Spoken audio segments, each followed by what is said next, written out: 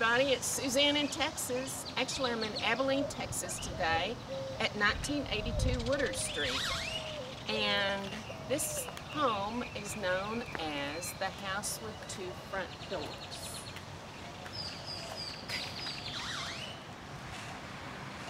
I lived here from probably the late 60s to the late 70s during my, you know, junior high, high school, and college years until my parents moved away. But the second door, or the door on the left, led to a home beauty shop.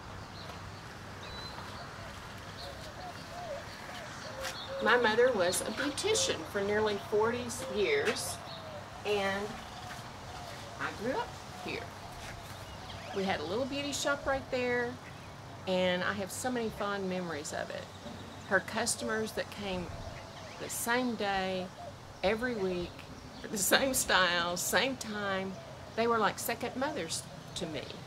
And um, some of my fond memories are going in early in the morning, doing my own hair before school.